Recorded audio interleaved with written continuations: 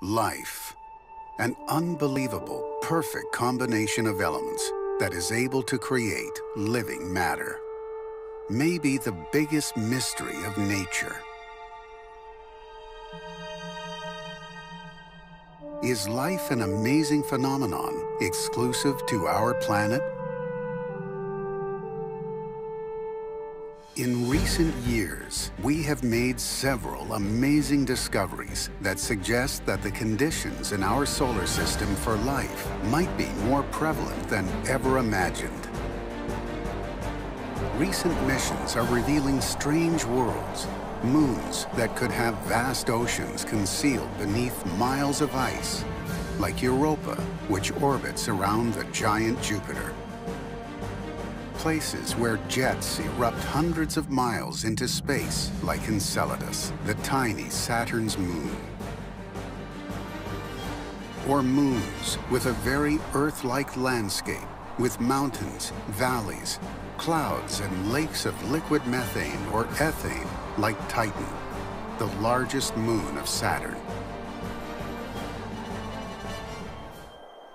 If life was ever possible, or is now a fact in any of those remote worlds in our solar system, with very harsh and different conditions from Earth, that could imply that life could be possible in any other remote world in outer space. Second genesis within the same solar system implies that life, the origin of life is a likely event. If it happens twice in the same solar system, it's likely happening everywhere in the universe. Now, scientists are searching for planets far beyond the boundaries of our solar system where we might detect life in the near future. Thanks to the NASA Space Telescope, Kepler, launched in 2009, we know that in our galaxy alone, there are billions of Earth-like exoplanets orbiting their stars. Given the vastness of the universe, with more than 100 billion galaxies, it is hard to conceive that somewhere there is no Earth-like planet that can harbor life. Unless something very unusual happened here on Earth, then life is developed on uh, thousands of millions of planets just in our galaxy, right? If it's not a miracle, then it's all over the place. That's the bottom line. In recent years, thanks to Kepler, we have confirmed dozens of Earth-like exoplanets that might harbor life, and even intelligent life waiting to be discovered. We don't know if the discovery of life will happen first on one of these moons or planets in our solar system, or on an Earth-like exoplanet.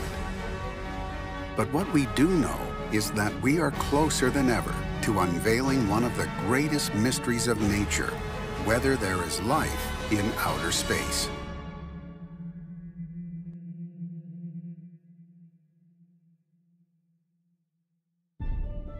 Is there life beyond Earth? Humankind has always asked itself this question, but no answer has yet been found.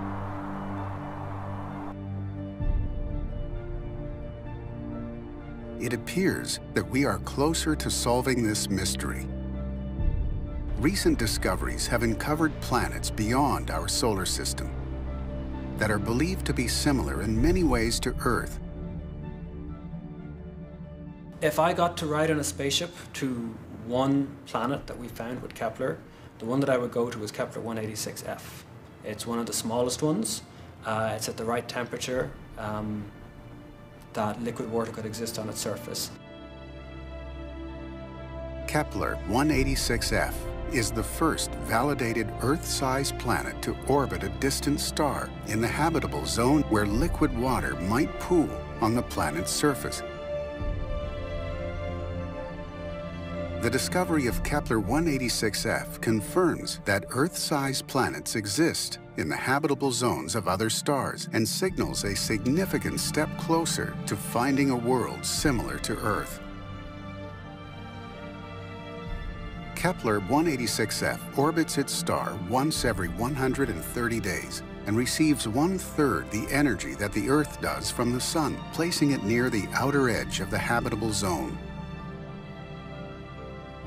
If you could stand on the surface of Kepler 186f, the brightness of its star at high noon would appear as bright as our Sun is about an hour before sunset on Earth.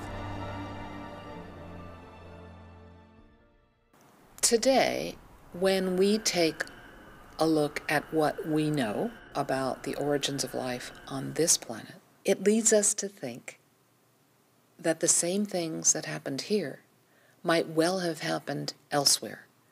And so life beyond this planet is quite plausible in terms of the science that we know today. We now know there are four important candidates in our solar system to harbor life. Mars, Jupiter's moon Europa, and Saturn's moons Titan and Enceladus. On every of them, we can find all of the three key ingredients for life, organic compounds, a liquid, and an energy source. There is water on Mars under the form of ice at the poles and under the surface, but it is also uh, flowing from time to time at the surface during spring and summer. Although there's no evidence of any form of life on Mars yet, scientists think it might be found soon. On Jupiter's moon Europa, two of those key ingredients can also be found. We do know there is water on Europa. On the surface of Europa, we have an icy crust. This icy crust has been observed using Voyager spacecraft, but also the, the Galileo spacecraft in, in the 90s. Under an eerie water ice crust, 10 to 30 kilometers thick, that covers this tiny moon, there's supposed to be a liquid ocean, which may be about 100 kilometers deep.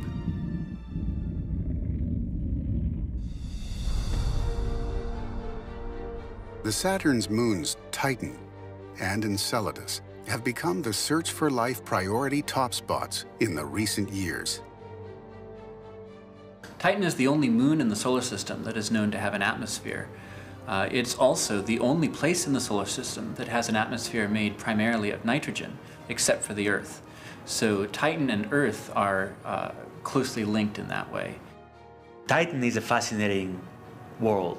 It's the most alien place in the solar system, so to speak because it, in fact, other than the Earth, is the only place we know of that has seas of liquid on its surface, but those seas are not made of water. They're made of liquid methane and liquid ethane. Titan is the only place in the solar system outside Earth where there are stable bodies of surface liquid. But at minus 180 degrees Celsius, this liquid can't be water. We know there are lakes filled with super chilled liquid methane and ethane. In recent years, Enceladus, a tiny moon orbiting Saturn, has become one of the main goals for exobiology. Enceladus is a small icy moon, quite similar to Europa, as it has a thick icy crust and an ocean beneath. We know there are vast jets of water ice erupting several miles into space. Enceladus is one of the most interesting places in the solar system because of the presence of this activity, this geyser-like activity. If we have geyser-like activity, people expect to have water, liquid water. Recently, in those jets, some of the basic chemical building blocks of life have been detected, so we can be sure that we have on Enceladus the trifecta to harbor life. Liquid, organic compounds, and an energy source.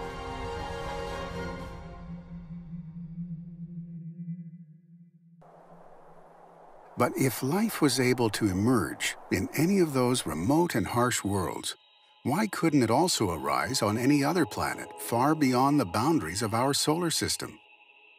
Second genesis within the same solar system implies that life, the origin of life is a likely event. If it happens twice in the same solar system, it's likely happening everywhere in the universe. If we were able to find life within our own solar system on another place, and furthermore, be able to say that it developed, you know, independently, then you're saying within the same star stellar system, you had life evolve twice. And the conclusion from that is, is that it, life forms very easily. A generation ago, just the idea of a planet orbiting a distant star was still in the realm of science fiction. So, to think of the possibility of life on a planet like that was simply unimaginable. In fact, the first exoplanets weren't discovered till 1992. That very year, two super-Earth exoplanets were found around pulsar PSR 1257 plus 12 at a remote distance of 2,300 light-years away. This announcement shocked the scientific community at that time, as it was the first multi-planet extrasolar system ever discovered. Could any of these super-Earth harbor life? Unfortunately, a pulsar is a very different kind of star from the Sun. In fact, it's a dead star, formed when some of the largest stars in the universe exploded as supernovae. A pulsar, which is what's left after a star, a really massive star explodes, and you've got this thing which is one step away from being a black hole. Uh, while this was really exciting, it was hard to tell what it meant because pulsars are so much different from normal stars. These may not seem at first to be good places to look for habitable planets. Supernovae are, frankly, quite apocalyptic events that would easily vaporize any ill-fated planets in orbit around the exploding star that distant world would be bathed in a lethal cocktail of X-rays and charged particles emitted by a star so faint in visible light that it would scarcely cast a shadow on this world's surface. So the chances of life arising in such a weird and hostile environment would be remote. However, the real importance of this discovery was that for the first time ever, the existence of planetary systems beyond the limits of our solar system was confirmed. If we found two exoplanets out there, why couldn't there be many more? We had to wait three more years to find an exoplanet orbiting a Sun-like star which was far more important because the conditions of such a planet would be potentially similar to any of the planets in the solar system. On October 6, 1995, was the announcement of the discovery of the first planet orbiting, a Sun-like star in the journal Nature. That star was 51 Pegasi, a Sun-like star located 51 light-years away, and the exoplanet was a giant planet. The first exoplanet found around a star like our own was called 51 Pegasi b. It's very unusual. It's a very large planet. It's bigger than Jupiter. It's more massive than Jupiter. And it's on a very short period orbit. It goes around its star. One year on this planet takes four days. It's a very short amount of time. That discovery marked a turning point in the search for exoplanets. From that moment on, many new ones were found.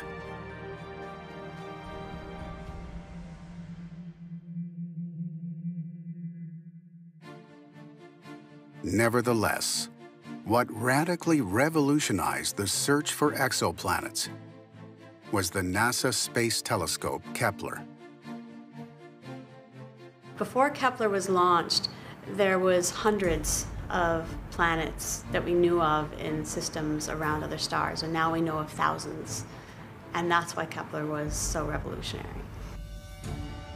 The Kepler was a space telescope specifically designed to survey our region of the Milky Way galaxy to discover hundreds of Earth-size and smaller planets in or near the habitable zone of their respective stars and determine the fraction of the hundreds of billions of stars in our galaxy that might have such planets. It works very simply. I mean, anybody can understand this. It's just, it's just staring at one spot on the sky all the time, never blinks. And it's looking at 150,000 stars. And it just monitors how bright they are, kind of like a camera light meter, really. And occasionally they'll see a, a, a, this star over here, for example. It'll get a little bit dimmer, a very fraction of a percent dimmer for a few hours, and then it'll get bright again. Well, that happens if a planet passes in front of that star. We've gone from finding 100 planets to over 1,000 planets with Kepler, those that have been confirmed. And there's about three or 4,000 more which, which we have strong evidence for, but we wouldn't consider confirmed planets just yet. Kepler is on the hunt for planets. Kepler has found literally thousands of planets or planetary candidates. It's, it's a planet finding machine. In 2011, for the first time ever, Kepler provided scientists with a census of the Milky Way so we could calculate how many stars in the Milky Way could have a planet like ours. Around a billion.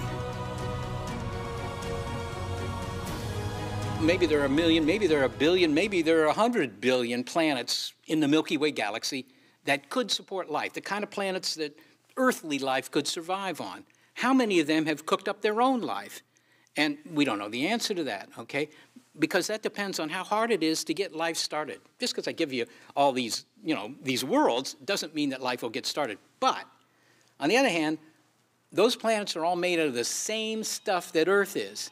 So again, unless something very unusual happened here and nowhere else, there's going to be biology all over the place.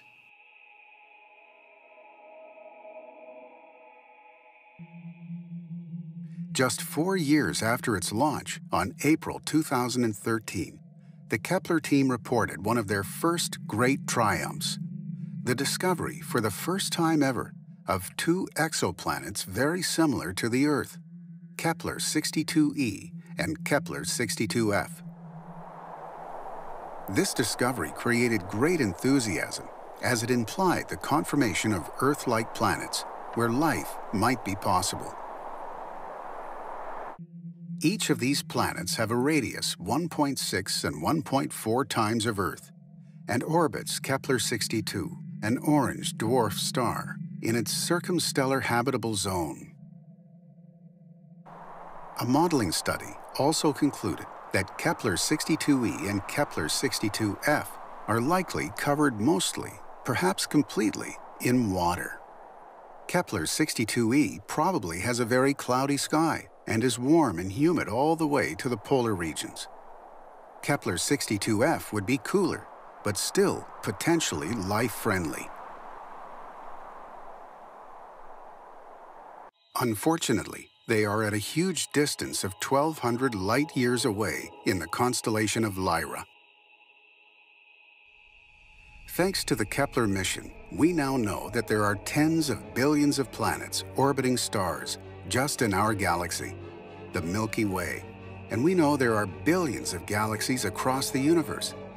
So if in just one planetary system like ours, life arose on one planet, and there are at least four more candidates, the likelihood of finding a planet in outer space that could harbor life should be very high.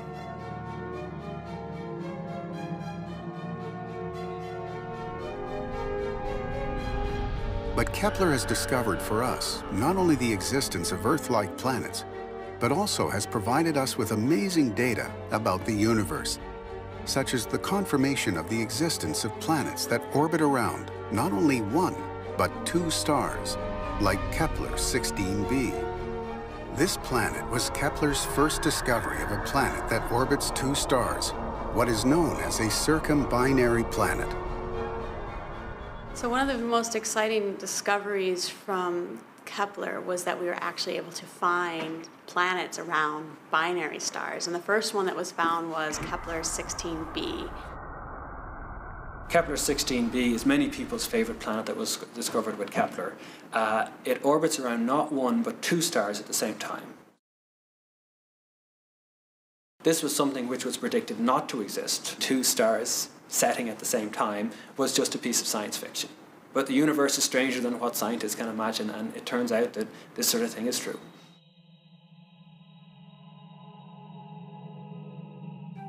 Since 1992, over 2,000 exoplanets have been discovered.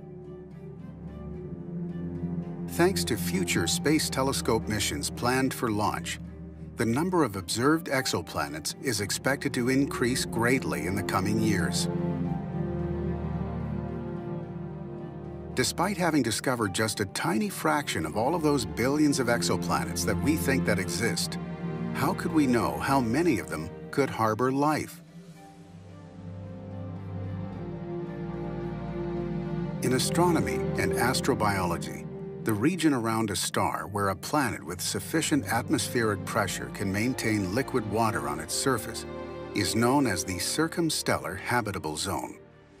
The habitable zone is a place, it's kind of a way of thinking about the right way to go look for planets like our own. The Earth is obviously in the circumstellar habitable zone of our solar system. A potentially habitable planet implies a terrestrial planet with conditions roughly comparable to those of Earth, and thus potentially favorable to life. There's a, there's a sweet spot, an area where it's not too hot and not too cold, and we call that the habitable zone, or some people call that the Goldilocks zone. If you've got a planet in that regime, and if it's small, if it's rocky enough, and it had water, that water would be in a liquid state, more than likely. So that would be a good place to go looking.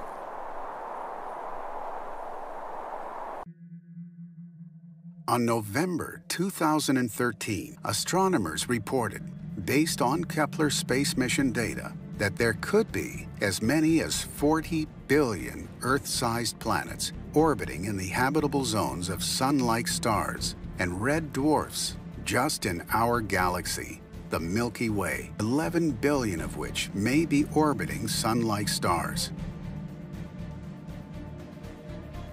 Those 11 billion exoplanets orbiting stars like our Sun really are a huge number of potential Earth-like worlds. However, now we know that stars very different from our Sun may be a good place to look for life. In May 2016, a team of astronomers announced, for the first time ever, the finding of three habitable planets orbiting a star completely different from ours, an ultra-cool dwarf star.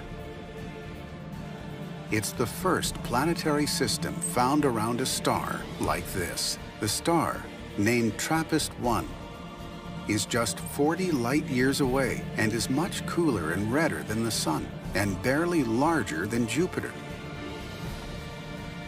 In fact, Stars like this are very common in the Milky Way, and they are very long-lived. The three planets are very similar in size to the Earth and might have habitable regions on their surfaces. So the answer to what the best place in the universe is to find life nowadays has radically changed. To date, among all of the more than 1,000 confirmed exoplanets, there are around 50 that are in the circumstellar habitable zone of the star they orbit around. And therefore, they could be potentially considered Earth-like planets, which does not imply these distant worlds may harbor life. However, could life be possible outside those habitable zones? The discovery of hydrocarbon lakes on Saturn's moon, Titan, has begun to call into question the carbon chauvinism that underpins circumstellar habitable zone theory. Liquid water environments have been found to exist in the absence of atmospheric pressure and at temperatures outside the circumstellar habitable zone temperature range. Just because a planet is outside the habitable zone doesn't mean that it couldn't have life. For example, Saturn's moon Enceladus and Jupiter's Europa, both outside the habitable zone of our solar system, may hold large volumes of liquid water in subsurface oceans. If we are considering the possibility that life could arise in such harsh environments, which are not in the circumstellar habitable zone, that implies that we should look for exoplanets far beyond those zones.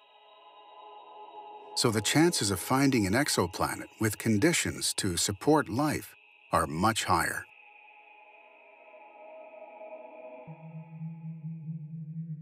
We know that it's not an easy task to study and analyze the planets and moons of our own solar system, as they are millions of kilometers away from Earth. However, exoplanets are not just millions of kilometers away, but many light years away from Earth. How can astronomers manage to study exoplanets if they are trillions of kilometers away?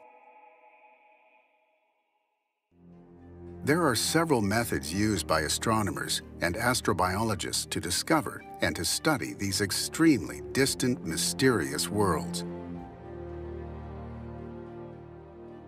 Before the launching of the Kepler mission in 2009, the most successful technique for detecting exoplanets was the Doppler spectroscopy, also known as the radial velocity method. The radial velocity method relies on the fact that a star does not remain completely stationary when it is orbited by a planet. A planet is much smaller than its star, but it still exerts a tiny gravitational pull or tug on the star as it orbits. When a planet is behind the star, from our point of view, it pulls the star slightly away from us. When it's in front, it pulls the star slightly toward us. This causes the star to wobble back and forth. Astronomers look for this wobbling to find planets. They use something called a spectrograph and powerful telescopes to examine the light coming from a star.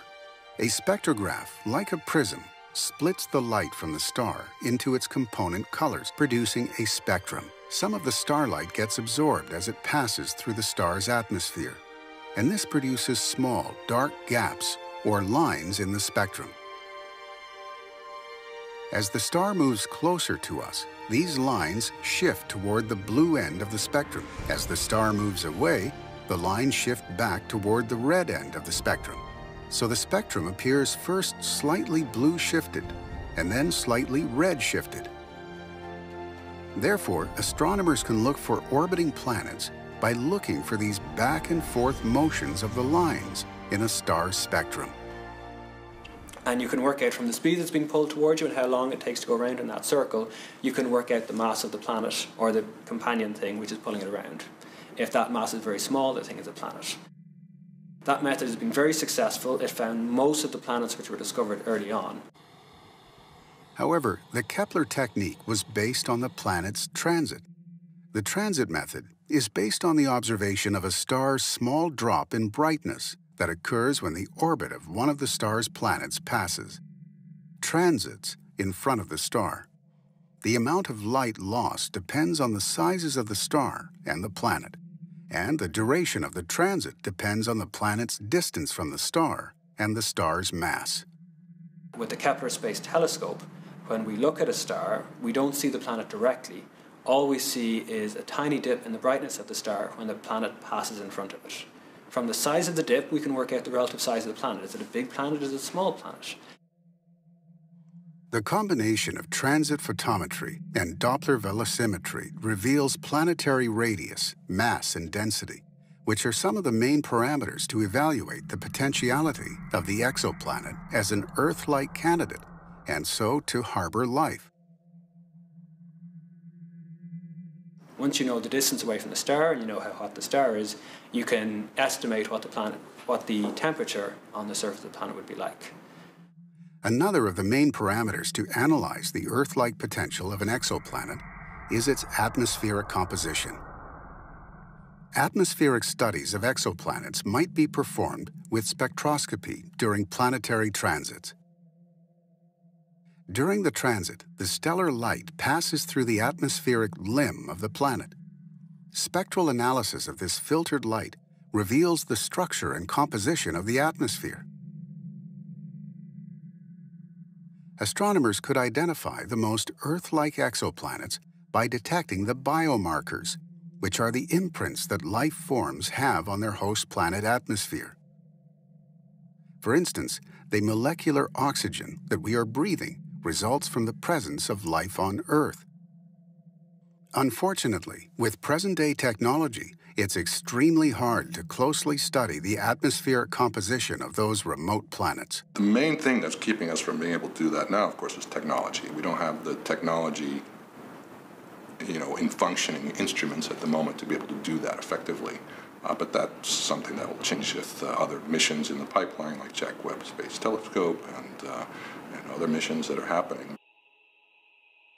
Kepler continuously monitors over 100,000 stars similar to our Sun for brightness changes produced by planetary transits. Thanks to this ingenious technique, Kepler has confirmed to date more than 1,000 exoplanets. Scientists think that about a few dozen of them can be labeled as Earth-like.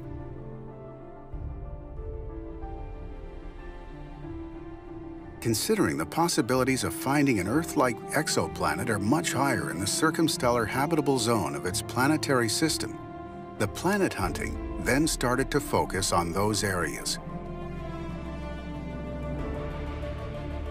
One of the first discoveries was 70 Virginis B, an exoplanet located approximately 60 light-years away in the constellation of Virgo. 70 Virginis B was located exactly in the middle of the circumstellar habitable zone of its planetary system, so it was supposed not to be too hot or too cold. Unfortunately, further studies reported that this remote world was a gas giant with very high temperatures, which ruled out any potential for liquid water, and therefore of life. The early findings were discouraging in terms of detecting an Earth analog. But this was just the beginning. In 1998, a discovery made in the star Gliese 876, a red dwarf located in the constellation of Aquarius at a distance of 15 light-years away from Earth, really encouraged astronomers.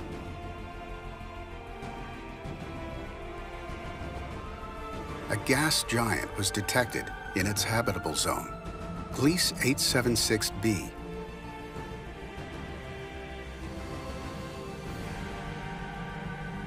Three years later, another gas giant closer to this one was found, Gliese 876c.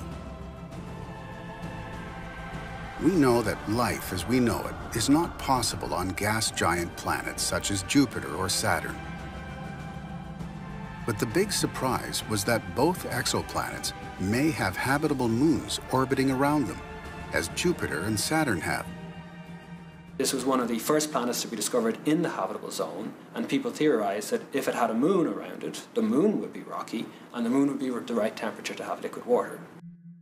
Why couldn't any of these hypothetical moons around Gliese 876b and c harbor life, as we hope Jupiter's moon Europa or Saturn's moons, Titan and Enceladus might.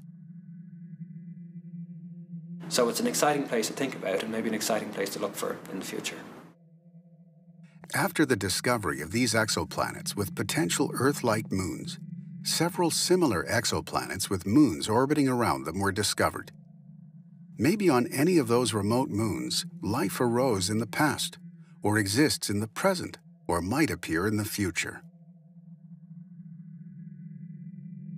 After all these early discoveries, we started to approach to the main goal, to find the most Earth-like world. An Earth analog, also referred to as a twin Earth or Earth-like planet, is a planet or moon with environmental conditions similar to those found on the planet Earth. If life could arise on Earth millions of years ago, and if we look for exoplanets similar to our planet, the chances of finding habitable planets skyrocket. Recent discoveries have uncovered planets that are believed to be similar in many ways to Earth, with relatively high Earth similarity indexes. The size is often thought to be a significant factor, as planets of Earth size are thought more likely to be terrestrial in nature and be capable of retaining an Earth-like atmosphere.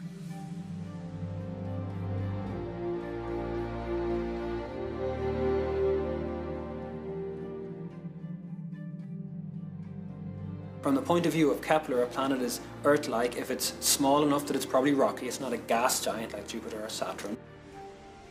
But size alone is a poor measure particularly in terms of habitability, because next to us, there is a planet with a very similar size and mass, Venus, where it is almost impossible for life to arise.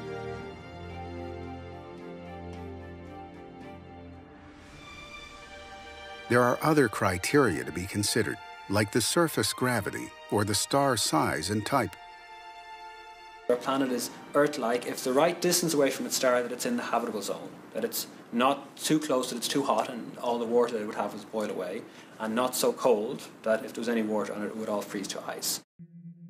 If we are able to examine all of these parameters of an exoplanet, we would be able to know if it is or not a real twin Earth. So when we say Earth-like for Kepler, we usually just mean that it's small enough that we think that it's solid enough that you could stand on it, but that doesn't mean that it has an atmosphere or that it has an ocean. It's also often cited that an Earth analog must be terrestrial. That is, it should possess a planetary surface composed of materials similar to Earth's. The conclusion would be that extrasolar planets, or moons, in the center of its circumstellar habitable zone, the so-called Goldilocks position, with substantial atmospheres, may possess oceans and water clouds like those on Earth. In addition to surface water, a true Earth analog would require a mix of oceans or lakes and areas not covered by water. We believe that water is essential, but just about everything else you can think about, which is important for life, uh, there seems to be life on the Earth that doesn't need it. There is life that survives without sunlight, there's life that survives without oxygen, there's life that survives deep down underneath the ice in Antarctica. Unfortunately, with the present technology, we can't properly evaluate most of the parameters like the temperature, the atmospheric composition, or the surface of the exoplanets. Nevertheless, considering we have already discovered hundreds of exoplanets, we can't help but wonder if a real Earth analog has already been discovered.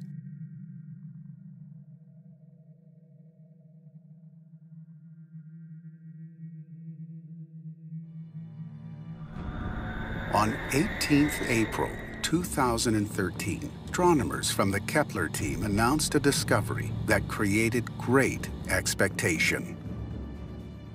For the first time ever, two very Earth-like exoplanets were found. They were the Kepler 62e and the Kepler 62f. and orbits Kepler 62, an orange dwarf star, in its circumstellar habitable zone. They immediately became prime candidates to host alien life. A modeling study also concluded that Kepler 62e and Kepler 62f are likely covered mostly, perhaps completely, in water. Kepler 62e probably has a very cloudy sky, and is warm and humid all the way to the polar regions. Kepler 62f would be cooler, but still potentially life-friendly. Unfortunately, they are at a huge distance of 1,200 light-years away in the constellation of Lyra.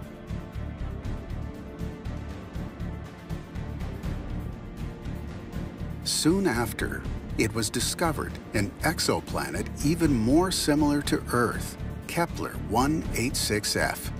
This finding was a milestone, as it was the first rocky planet found in the habitable zone of its system. It is 492 light-years away from the Earth. Kepler 186f is possibly my favorite planet to come out of the Kepler mission. It's a small planet, it's maybe 10 to 20% bigger than the Earth, um, based on everything we know about planets, it's almost certainly to be rocky, and it's the right distance away from its parent star that, if the atmosphere is right, if the greenhouse effect is right, it could have liquid water on the surface. After that discovery, several more Earth-like candidates started to arise, like Kepler 438b, Kepler 442b, or Kepler 440b. All of them were very similar to our planet, but none of them was a real twin Earth. But everything changed on July 23, 2015.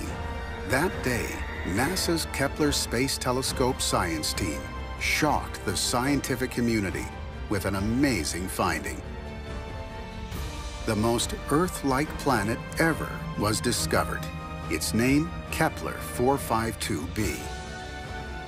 What made different this one to the other previous Earth analog candidates? Kepler 452b is the very first, apparently rocky planet that orbits a G-type star like our Sun. It's a planet in the habitable zone around a star which is almost a clone of our own Sun. After this discovery, the Earth is a little less lonely in the universe. Kepler 452b circles its star, which is about as hot as our Sun, 10% brighter and 20% larger, at an orbital radius just 5% larger than that of the Earth. A year on this planet is 385 Earth days long, just 20 days longer than Earth's. What makes this slightly less exciting from the point of view is could it be habitable is its size. Our best guess at the size is that it's about 60% bigger than our own Earth. It is the smallest Earth analog planet ever found in the habitable zone of a G-type star like our Sun. Previous research on super Earth-sized planets like 452b suggests this one has a good chance of being rocky. If it is a rocky world, it weigh in at about five Earth masses, giving it a surface gravity of roughly two grams, which would mean that our weight would be double on its surface.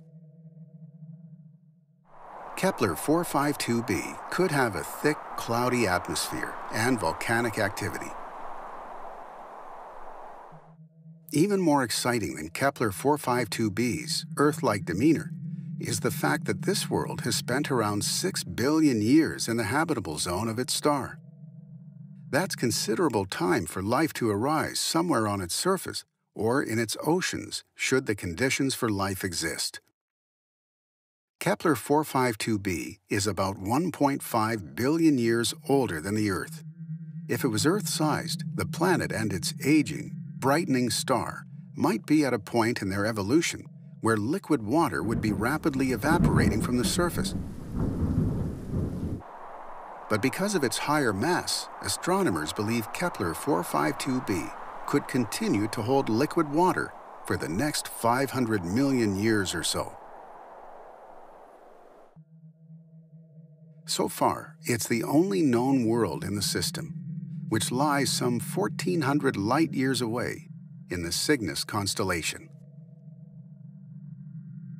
Obviously, we're not going to get there anytime soon, but it's fascinating to imagine that far off in the distant reaches of space, a world very much like our own might already exist. If this twin Earth exists, why couldn't thousands more like it exist?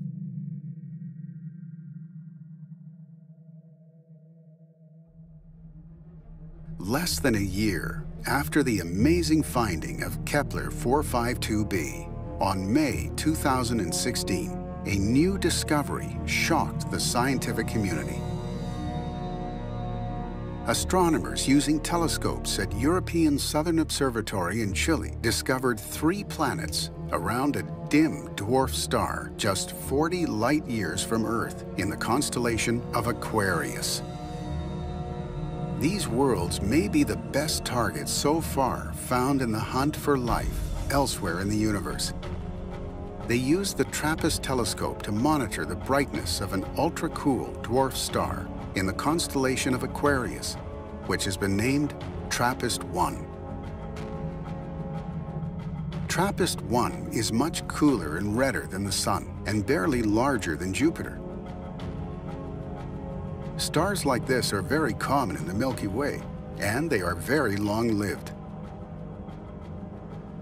this was the first time that planets have been found around one of them. The three planets are very similar in size to the Earth and might have habitable regions on their surfaces. But the really exciting result is that these are the first Earth-like planets that are well suited for the detection of life. The ultra-cool dwarf stars are the only places where life could be detected on an Earth-sized exoplanet using our current technology. The light from much brighter star, like the Sun for example, would swamp vital measurements of the atmospheres of any candidate planets. The next step is to make more detailed observations using the next generation of telescopes, such as ESO's, European Extremely Large Telescope, and the James Webb Space Telescope. That will allow astronomers to study the atmospheres of planets like this and to search for molecules related to biological activity, like ozone, methane, or water. Although there is not yet any proof of the existence of life on all of these exoplanets that we've already found, even in the most Earth-like of them, like Kepler 452b, we can't help but wonder if any of those potential forms of life that might have arisen there were or will be able to evolve into intelligent life. If any of those extremely remote worlds was formed billions of years ago, as Earth did, and it became into a habitable planet, then the organic compound had time enough to mix up and organize into living forms. Perhaps any of those living forms might have evolved into complex forms of life, and some of those complex forms of life might evolve into intelligent beings with consciousness. Thanks to Kepler mission research, it's known that just in our galaxy, the Milky Way, there might be millions of Earth analogs, and there are billions of galaxies across the universe. So the chances are much higher than we could have ever imagined. For that reason, science is carrying out an intense search for intelligent life. The SETI Institute in California is nowadays the main world institution devoted to the search for extraterrestrial intelligence. Its name, SETI, stands for Search for Extraterrestrial Intelligence. This search is based on the use of radio telescopes, Radio telescopes receive radio waves. As we can't go to space aboard spacecrafts to find that intelligent life, what we look for are radio signals. What we're looking for is a signal that's at one spot on the radio dial.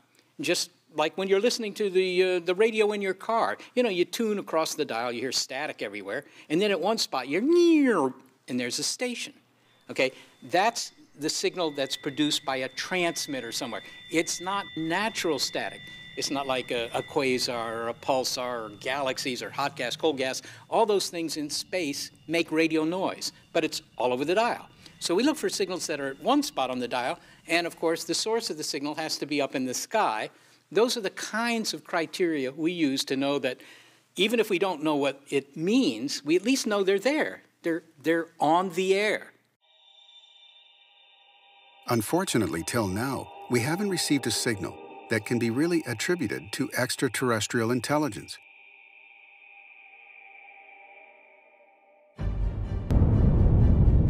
In the coming years, NASA and ESA, the European Space Agency, have planned to launch several space telescopes that will surely help to unveil the mystery of life beyond the boundaries of our solar system. The most ambitious one is the James Webb Space Telescope. This project is an international collaboration between NASA, ESA, and the Canadian Space Agency, CSA. It will be the premier observatory of the next decade, serving thousands of astronomers worldwide. It will study every phase in the history of our universe, ranging from the first luminous glows after the Big Bang to the formation of solar systems capable of supporting life on planets like Earth, to the evolution of our own solar system. This new telescope, three times more powerful than Hubble, will be able to analyze starlight passing through the atmospheres of the closest Earth-like worlds, looking for the telltale signs of life itself, like for instance, detecting gases in its atmosphere usually linked to life processes, such as oxygen, methane, carbon dioxide, or nitrogen. JWST is really going to help us understand what atmospheres of planets are like under different, different conditions, and that's going to be a really exciting result. There is another mission, the CHEOPS mission. CHEOPS comes from characterizing exoplanet satellite. This is an ESA mission dedicated to searching for exoplanetary transits by performing ultra-high precision photometry on bright stars already known to host planets. With all of these new space telescopes programmed to be launched in the coming years, we are sure that finding a habitable exoplanet and any consistent biosignature will be just a matter of time.